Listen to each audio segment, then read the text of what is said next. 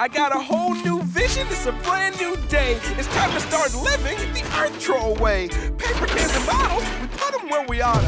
Because that is the Earth Troll way. Milo? Making old stuff new, that's what we do. Like turning a frown upside down. Recycler. What's that there? Plastic in your hair? Just toss it over there. Recycle. Hey, you wanna try? Recycle! Living the dream,